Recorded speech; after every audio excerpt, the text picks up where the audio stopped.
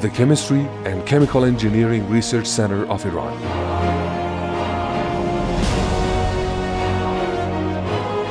A research center with expert human resource and equipped laboratories.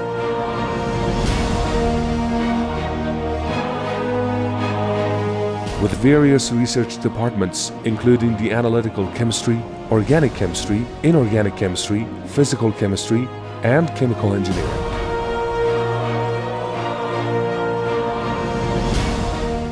To perform important missions.